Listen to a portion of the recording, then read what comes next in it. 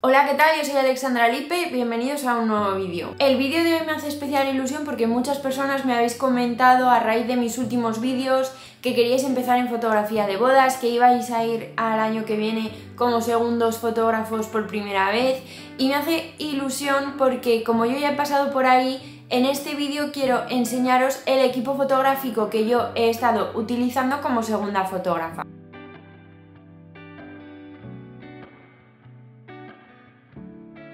En primer lugar os quiero hablar de la mochila, es esta que tengo justo aquí, es una mochila de Camrete, que ahora mismo la tengo llena y pesa bastante.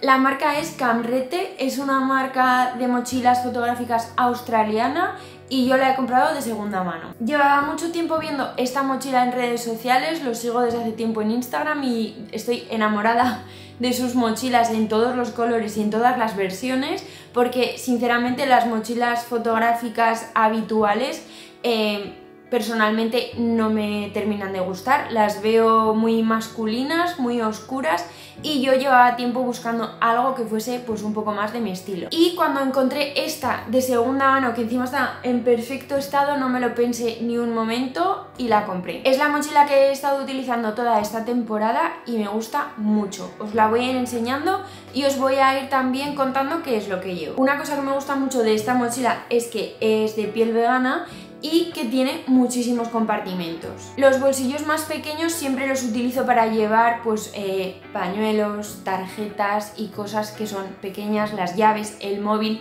cosas que necesito coger rápidamente y que allí las tengo seguras. Una cosa que recomiendo también un montón que llevéis en vuestra mochila es medicamentos. A mí nunca me fallan y suelo llevar pues para el dolor de cabeza, el dolor de estómago, eh, bueno, un variado porque nunca se sabe lo que te puede pasar.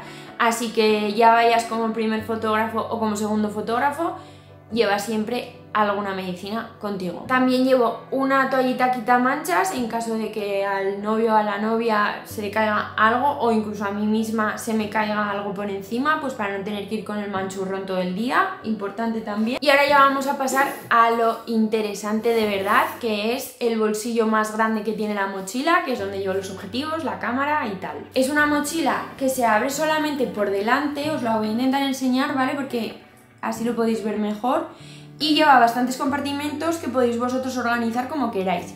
Luego aquí en la parte de delante lleva estos dos bolsillos que ahora os enseñaré lo que llevo y este otro con cremallera que la verdad es que viene súper bien. Así que voy a ir sacando lo que llevo voy a empezar por el bolsillo con cremallera que aquí llevo varias cosas interesantes. En primer lugar llevo un paquete de pañuelos, esto nunca falla porque nunca sabes cuándo los vas a necesitar, así que siempre llevo paquetes de pañuelos conmigo. Después llevo entre 2 y 3 baterías para poder ir cambiándolas, tengo baterías originales de Sony y luego tengo estas otras baterías que igualmente os lo voy a ir dejando todo abajo por si queréis echar un vistazo a alguno de los productos que os voy a enseñar. Pero bueno, suelo llevar entre 2 y 3 baterías extra. Y la verdad es que la Sony A7 IV, que es la cámara que yo tengo, consume baterías muy rápidamente y normalmente suelo gastar entre 2 y 3 baterías durante el día de la boda. Por si se me mancha el objetivo también llevo este lápiz de KF Concept, que la verdad es que viene muy bien porque tiene por aquí este cepillo y por aquí por este otro lado tiene esta punta por si se queda algo de polvo más resistente en el objetivo lo puedo limpiar y también llevo un paño. Ahora mismo me faltaría por llevar en la mochila la pera de aire que también la llevo siempre por si acaso me entra polvo en el sensor poder limpiarlo pero no la he encontrado y no la he podido meter en la mochila así que bueno, no os la enseño pero que sepáis que siempre la llevo. Después en el otro bolsillo pequeño lo que llevo son las baterías de repuesto para el flash. Ahora os contaré porque he cambiado de flash eh, a mitad de temporada más o menos así que ahora os voy a enseñar el que tengo. Igualmente llevo dos baterías extra de flash y la que le pongo directamente al flash.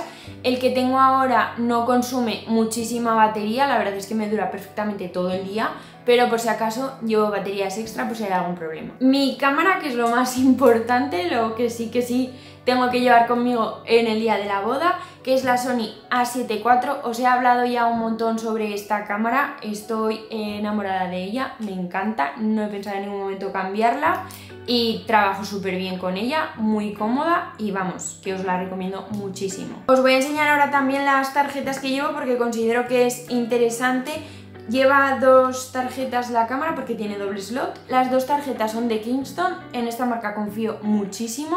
Son muy buenas, no me han dado nunca ningún error.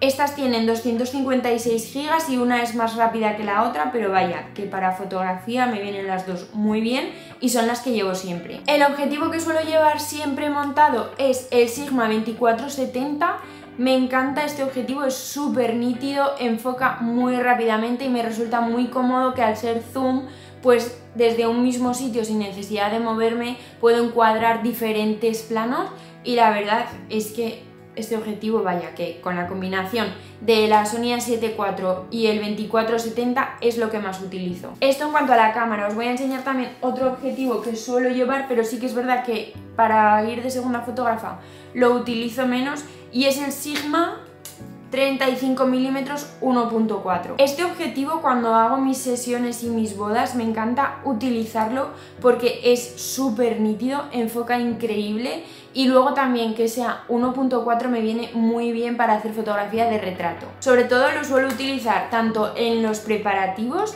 como durante el reportaje y ya os digo que es que me tiene encantada. Creo que Sigma es una marca que calidad-precio merece muchísimo la pena porque no es hiper cara y por el precio que tienes que consigues una calidad muy buena. Cuando voy como segunda fotógrafa este objetivo lo utilizo menos porque como el zoom es más versátil pues con la persona con la que voy nos podemos compenetrar un poquito mejor porque muchos de ellos llevan ya un 35 milímetros pero vaya que es un objetivo impresionante. Después para la cámara os voy a enseñar este arnés que ya habéis visto, me parece que os lo he enseñado en Instagram, si no me sigues todavía te lo voy a dejar por aquí para que puedas hacerlo. Y este arnés es una pasada, la verdad es que me gusta muchísimo. Es una pena porque yo se lo compré a un artesano del Pirineo y creo que ya no trabajan, pero vamos, es un arnés perfecto para llevar dos cámaras, aunque yo solamente llevo una, pero al tener aquí los dos enganches, como llevo la cámara con los agarres, los clips de Peak Design, pues yo lo coloco aquí y queda súper bien segura. Y ya os digo que es este arnés el que utilizo siempre, nunca voy con correa porque me resulta mucho más incómodo. Sobre todo me refiero a cuando voy a una boda, siempre con arnés para la espalda es lo mejor y lo utilizo tanto cuando llevo una cámara como cuando llevo las dos colgadas. Además es de súper buena calidad y vamos, que esto me va a durar toda la vida. Y luego una de las partes más interesantes de lo que os voy a enseñar hoy es el flash. Os voy a enseñar primero el flash que yo he estado utilizando tanto hace un par de años como a principio de temporada, que es un flash de Godox. Es una marca que me gusta mucho, tiene productos que están súper bien y el flash que yo estaba utilizando es este, que es el V860-2S para Sony. Es un flash que realmente funciona súper bien, a mí me gustaba, pero sí que es verdad que le encontraba un pequeño problema y es que no era consistente. Con esto me refiero a que yo a veces disparaba y unas veces eh, disparaba flash y otras veces no. Y no era por el tiempo de recarga, era simplemente pues porque a veces disparaba y a veces no disparaba. Y luego también otra cosa que no me gustaba mucho es que para poder utilizarlo en modo manual, los botones sí que son un poco rollo. El menú, los modos y tal, al tener tantos botones y todos tan parecidos y eso me resultaba bastante complicado. Y como hace unos meses hice una colaboración con Profoto, pude probarlo y la verdad es que no hay color, sinceramente merece muchísimo la pena. Sé que este es un buen flash y que te puede funcionar perfecto y hacer el trabajo genial con él, pero yo creo que una vez has probado un flash de Profoto cuesta bastante volver a manejar este y hacerte a él. Así que estuve buscando flashes Profoto de segunda mano, como veis yo también compro muchas cosas de segunda mano y justo Javi encontró este que tengo por aquí, que es el Profoto A1X es un modelo que Profoto ya no fabrica, pero vamos, que funciona perfectamente. Y desde que lo empecé a utilizar estoy encantadísima. Es súper sencillo utilizarlo, tiene una ruleta para cambiar la potencia, el menú es sencillísimo, es súper consistente, no falla ni una y la verdad es que vaya, que yo estoy encantada con este flash y creo que me va a durar muchísimos años. Además la batería le dura una barbaridad y en fin, no tengo absolutamente ninguna queja sobre este flash. Y luego un accesorio que compré y que no había utilizado hasta hace poco es esto que tengo por aquí, que es una cúpula de Magmo. Esto chicos es una pasada porque ya de por sí la luz del Profoto me gusta mucho, lo tengo con esta cúpula y suaviza bastante, pero es que ya cuando le pones esto es increíble, vamos, o sea, os lo recomiendo. Este combo así os lo recomiendo muchísimo porque es que no tiene nada que ver. Encima eh, va imantado, o sea, es magnético y como podéis ver es que no se suelta y te aguanta esto aquí perfectamente, le puedes dar golpes, en fin, que va genial y la luz es que sale súper suave, súper difuminada y a mí me gusta muchísimo. Así que este es todo el equipo fotográfico que yo llevo cuando voy de segunda fotógrafa. Hay muchísimas cosas, vaya, todo igualmente lo llevo cuando voy de primera fotógrafa y en fin, creo que he encontrado una combinación tanto de cámara, objetivos y accesorios que me funciona muy bien y que voy a seguir utilizando la temporada que viene Así que cuando empecemos nueva temporada os haré otro vídeo enseñándoos el equipo que llevo porque llevo siempre dos cámaras así que creo que os puede resultar interesante. Me gustaría saber el equipo que tú utilizas, si también utilizas algo del mismo equipo que yo tengo, déjamelo abajo en comentarios y así podemos hablar y podemos ver un poco los equipos con los que trabajamos cada uno. Si todavía no te has suscrito al canal, ahora es un buen momento para no perderte ninguno de mis vídeos sobre fotografía y también puedes seguirme en mis redes sociales que te las voy a dejar por aquí. Espero que estés muy bien y nos vemos muy pronto en un nuevo vídeo. Adiós.